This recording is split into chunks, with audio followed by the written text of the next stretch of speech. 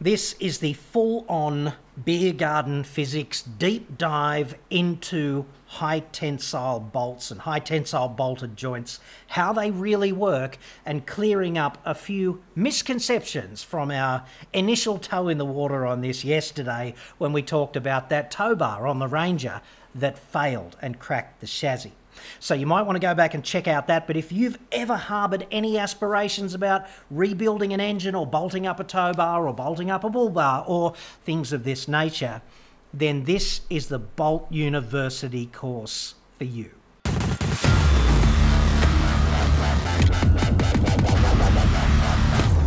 I'm John Cadogan from AutoExpert.com.au and I get new cars cheap for buyers here in Australia. Website for that, obviously. Or you can just click the card that's up there now, dude. Okay, so yesterday we did that story on the Ranger that had an ARB rear bar fitted, and essentially it cracked the bottom edge of the back of the chassis rail because, clear as day, you can see from the photographs, the bolts just weren't done up properly. They were never done up properly, and despite being in service for three years and only towing an 1800 kilo trailer, and despite having two or three services where one of the jobs that the customer paid for was, you know, having the chassis bolts all checked and quote unquote tightened, uh, didn't actually work out that well. Okay, and this is a bit of a disaster because the dealership is kind of ducking it. Now, I do try and follow most of the comments most of the time on the channel. Sometimes there's just like tsunami of work and tsunami of comments and I can't keep up. But I was following the comments pretty closely yesterday and I would like to thank you in particular if you unleashed the fingers on the keyboard with some practical coalface experience in the design automotive engineering universe. There was one particularly good comment from a dude in the mining industry who said that most of the damage to the things that they bolt up to their off road mining trucks is caused by not tightening appropriately. And there was another really interesting comment from a guy who said that, yeah, everything above M10 is under tightened and everything below M10 is over tightened, mainly because people think that they've got these strange mental powers and they can just sense the right torque by hand. I can really relate to that because, interestingly, bolt manufacturers have done blind tests on people who think that, and invariably they get it wrong, and the torque wrench is always more accurate. Okay, it's also important to pay uh, really close attention to the condition of the bolts when you tighten them up. Like, are they lightly lubricated or are they dry, and what's the surface finish? Because it really does make a difference in the high tensile universe. Okay, uh, the rule of thumb there is normally it's the dry assembly torque spec that is listed in the documentations and you knock about a third off for light lubrication. So, you know, if you do put some oil on them, which is not a bad idea, frankly, you just knock about 30% off. So, in the case of a fastener like this, which is an M12 socket head cap screw, grade 12.9, then it's about 100 uh, newton meters, I think, the torque spec. And what you would do is reduce that to about 70 if you were doing it up lubricated. Okay, so one of the things that I was a little depressed about yesterday is also in the comments there's this incredible characteristic of people being incredibly definite about their view and also dead wrong. And we are going to talk about that, and one guy in particular named Doug Campbell. And I just want you to be aware that this is not a personal attack on Mr. Campbell. I'm really just here to talk about the facts. And there's also a safety dimension to this issue, all right? And it's pretty important if you're ever going to pull a tow bar off something and put it back on, and how you're going to do that. The how really matters because that is a high tensile bolted joint design.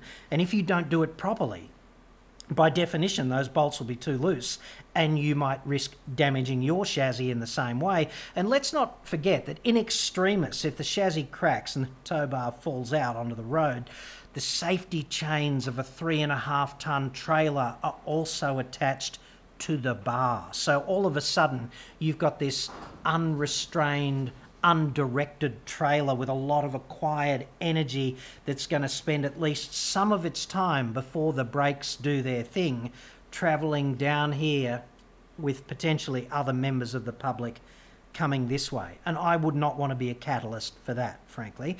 I'd also suggest that if we can't discuss the facts like friggin' grown ups, then the battle for advancement of humanity has been lost, right?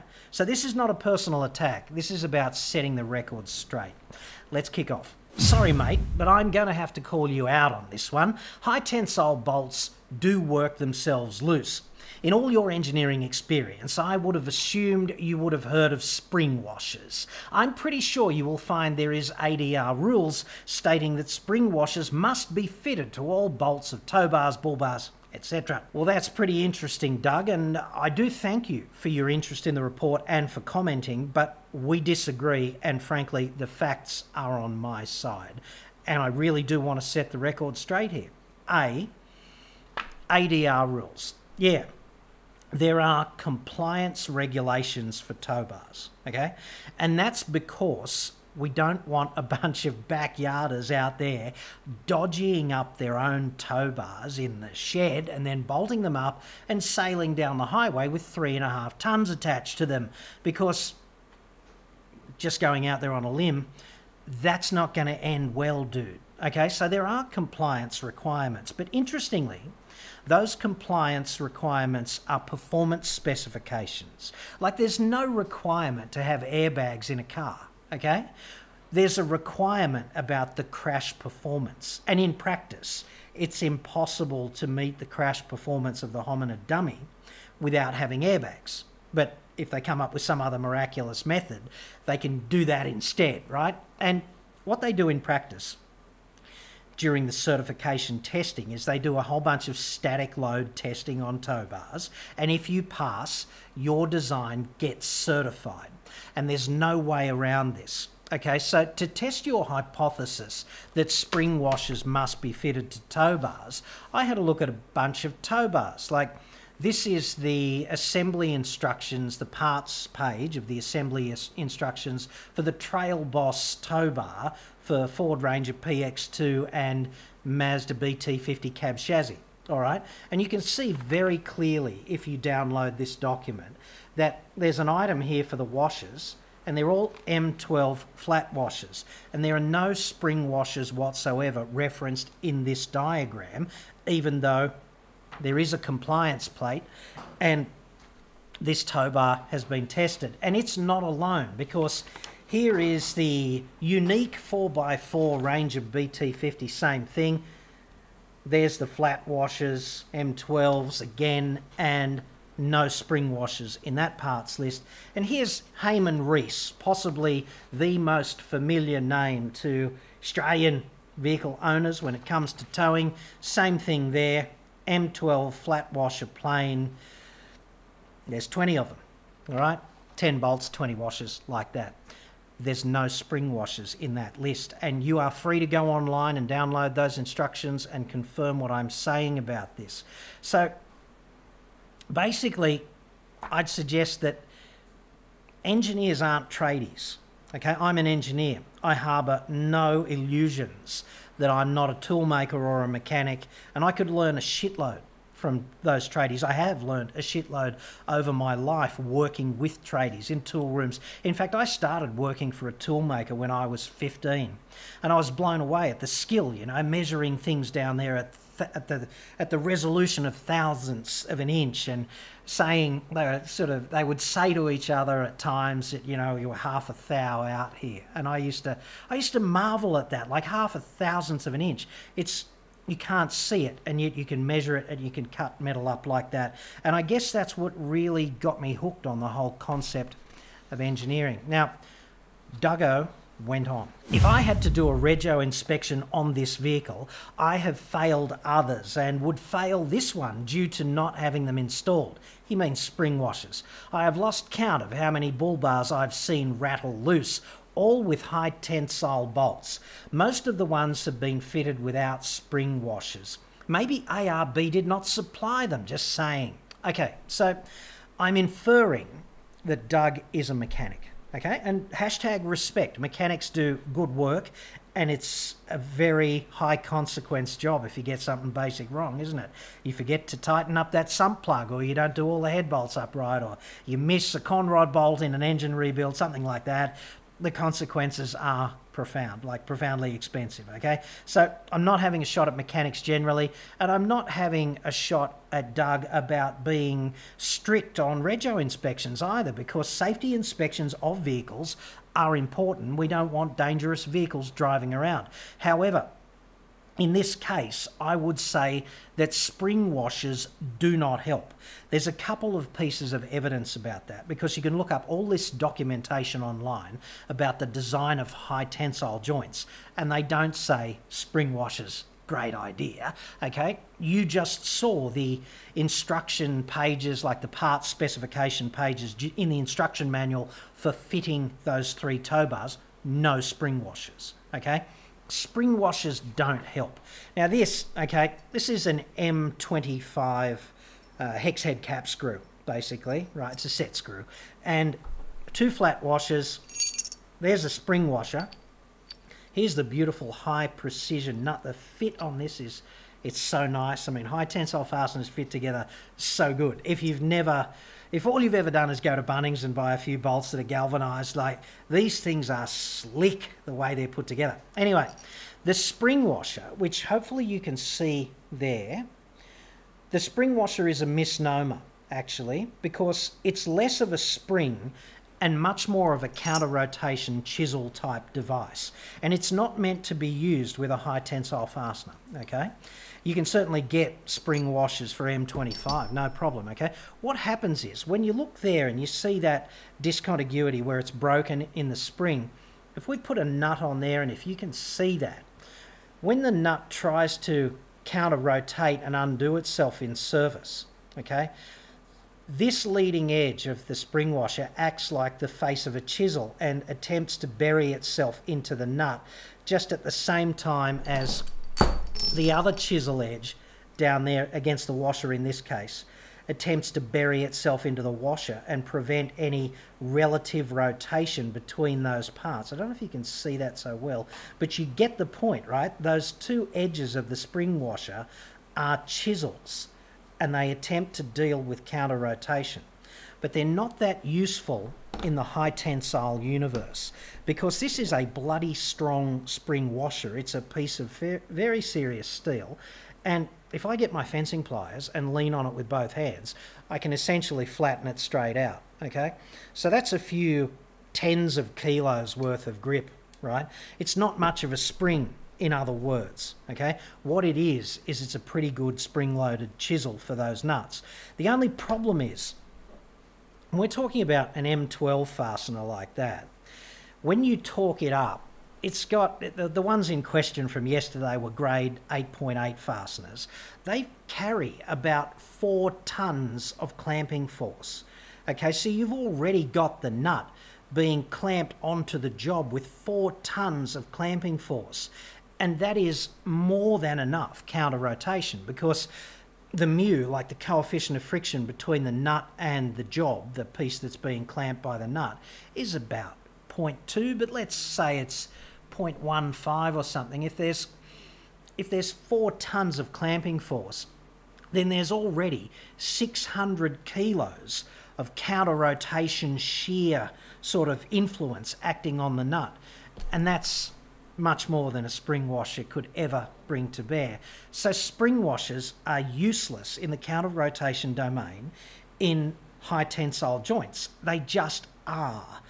These are the facts calling and you don't have to like them, okay? Now, it's hard to imagine that, right? I get that it's hard to imagine that. Four tons worth of clamping force in a fastener, seemingly so tiny, okay? I have difficulty imagining that you could hang two Rangers from this set screw, but you could, and it would be perfectly safe. I wouldn't get under it like that, though. I'm conservative like that. I'd put about half a dozen fasteners in anything that was going to hold a weight like that. That's not advice about getting under one of these with four tons hanging on it. it's advice about how much weight they can handle. And I'd, I'd, further suggest that just about everything in the applied engineering, mathematics, and physics universe is counterintuitive.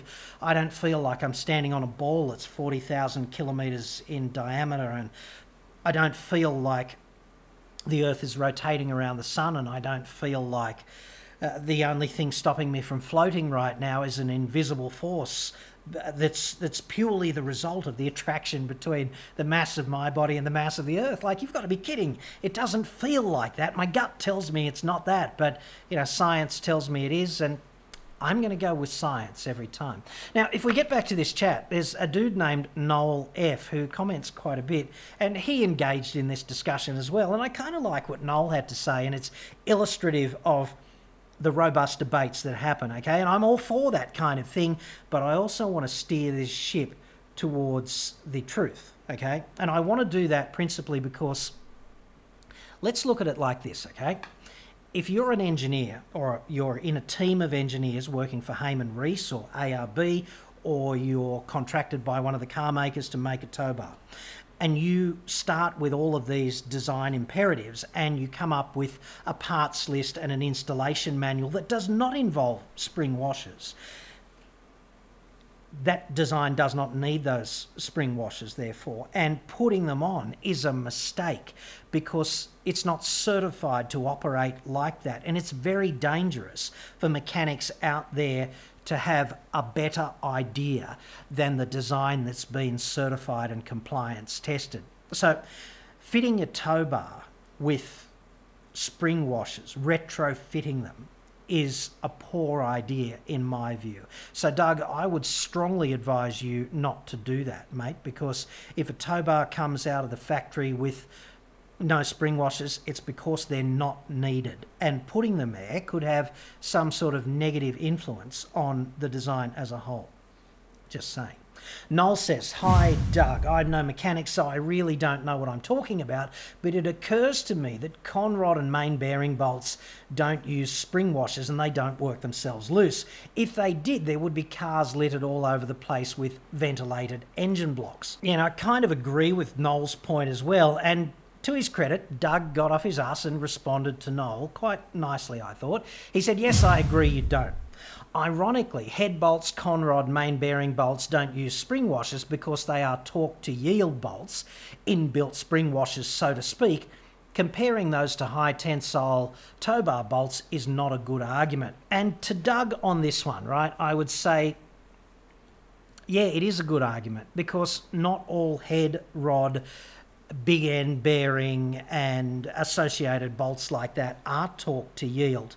Incidentally, a torque to yield bolt, you can always tell if you're dealing with one of those because what will happen is there'll be advice in the manual about assembly where you use a torque wrench and you do the bolt up to some preset torque spec. Let's say it's 75 newton meters or something.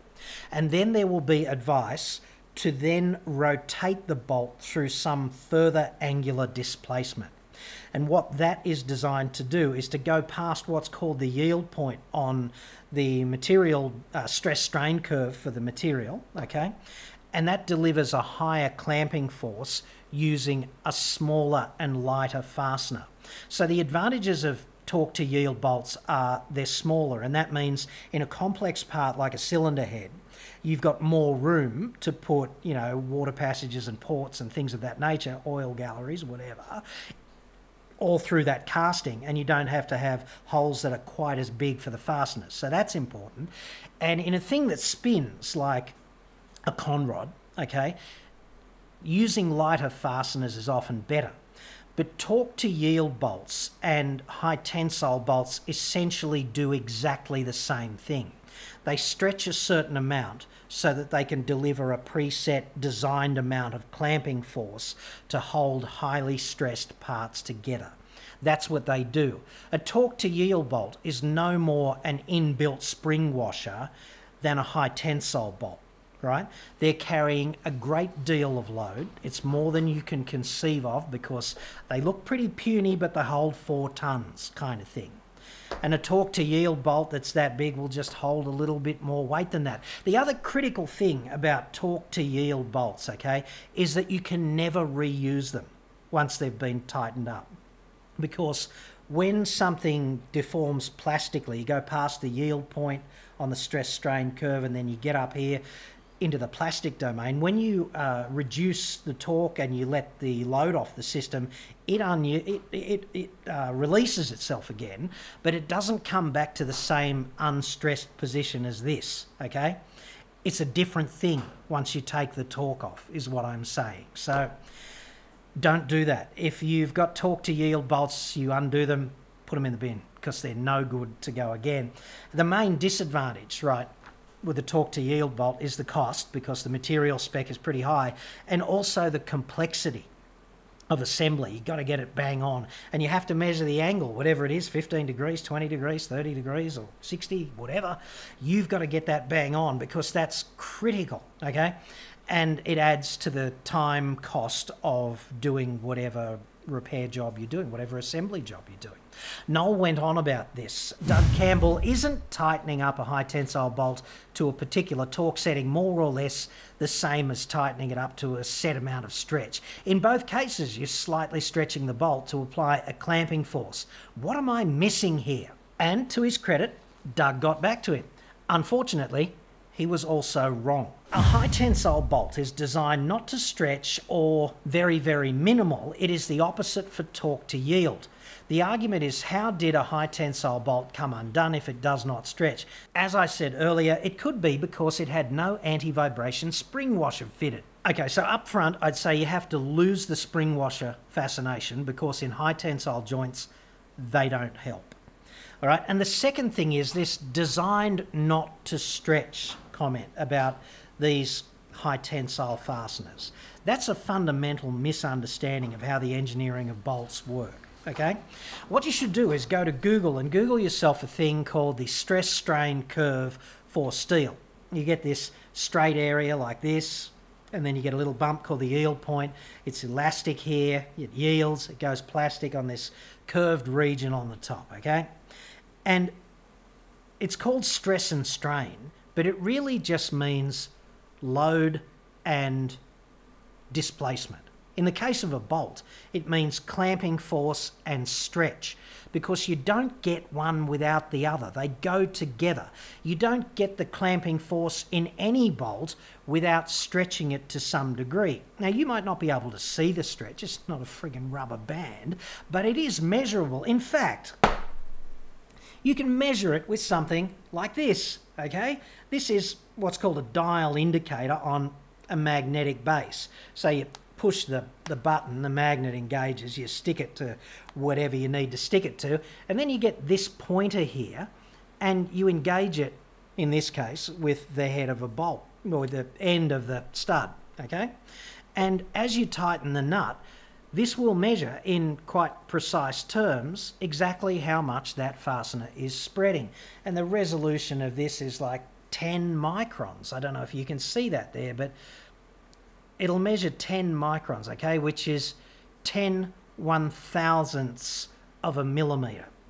You can also use a dial indicator like this for measuring the run out on things like chucks on uh, drill presses or you can dial in uh, something that you're putting in a four jaw chuck in a lathe if you need precise orientation there.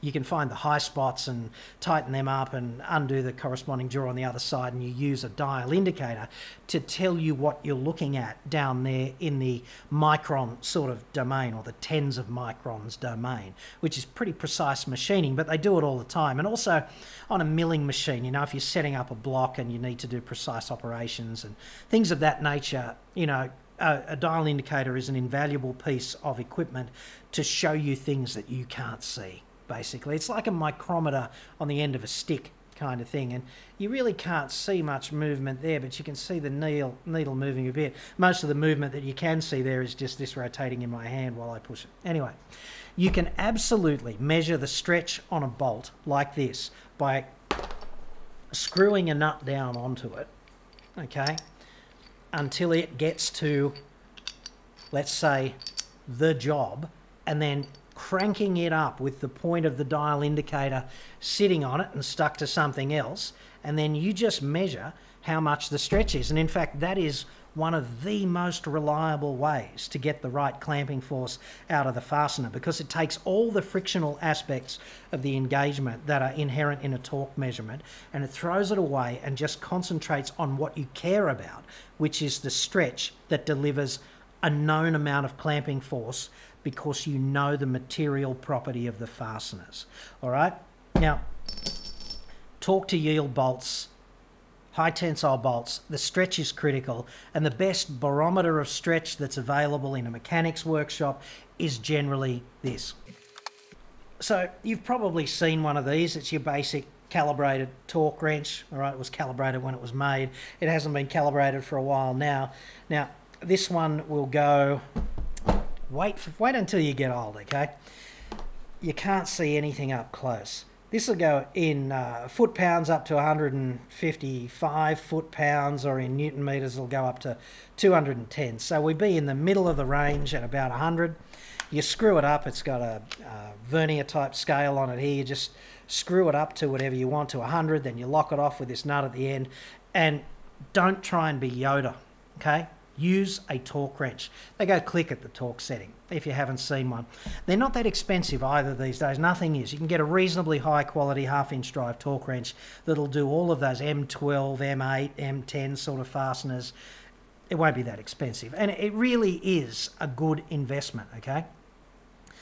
I would suggest that it's important to realise that mechanics have their place, right? They really do. And they do such good work. And if you can find a good mechanic, he's worth his weight in unobtainium, right? He really is. But it's a mistake for mechanics to think they're engineers, just the same as it is for engineers to harbour some delusion that they're mechanics. All right, and how this works in tow barville with high tensile bolted joints is that the torque setting really matters, and so do the washers, these three millimeter thick washers that they typically use to spread the load with tow bars and stop this phenomenon of embedding. All right. And going and changing the design arbitrarily by saying, oh, there's no spring washers on this, and I've seen so many tow bars and bull bars come loose, and none of them had spring washers. Correlation is not causation, dude. I would suggest, respectfully, that the reason they haven't had spring washers is because they're not designed with spring washers in the first place, and that's why they're not there. And they're not going to help if you put them there. What helps is having the fasteners tightened up to the proper spec. It is by far the best hedge against undoing in service. And it doesn't hurt to get the torque wrench out occasionally, once a year or something, and just check that they're still up to the preset, the, the specified tightness, okay? And if you're wondering how this works, right, with the bolts and the tension and all of that stuff, in the domain of engineering, what you start with is what are the loads? Okay, what are the loads on a tow bar? What are the expected dynamic loads? So let us get a prototype together and let's go out there with the heaviest trailer on our test track, so it's not a public road, and we'll put a, an even heavier trailer in place and we'll put all these strain gauges all over our rig and we'll actually figure out what the loads on a tow bar are. And then we're going to figure out how to make the tow bar strong enough to withstand the loads and then we're going to figure out what the spec is on the chassis of the vehicle in the case of a ladder frame ute okay and then we've got to figure out how to join them together without breaking the chassis kind of important and then we've got to figure out how much clamping force is required to stick the tow bar to the chassis reliably. And that's where Bolty Boy comes in, okay? We figure out how much clamping force is required, and then you look up the strength of the bolts in a table and go, well, how many bolts are we going to need to do that job? I'm oversimplifying it a bit here because you know you got to come up with the orientation of the bo- the bolts and all the different influences working on them, but really. In high tensile world, it's all about the clamping force to prevent the relative movement of the parts. And on this one, Doug, I would have to thank you for your engagement, but I am critical of the comments you made.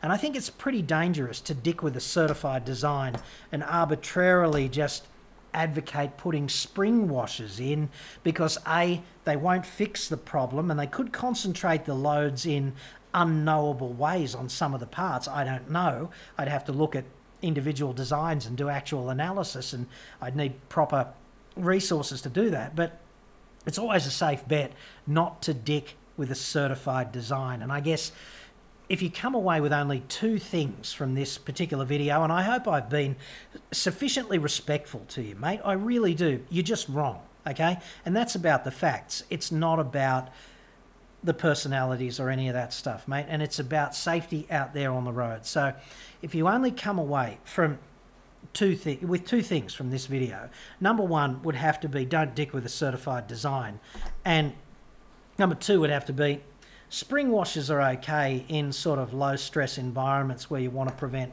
uh, arbitrary undoing of things like covers on machines and stuff like that. But in an actual high tensile design joint application, they're about as useful as tits on a friggin' bull.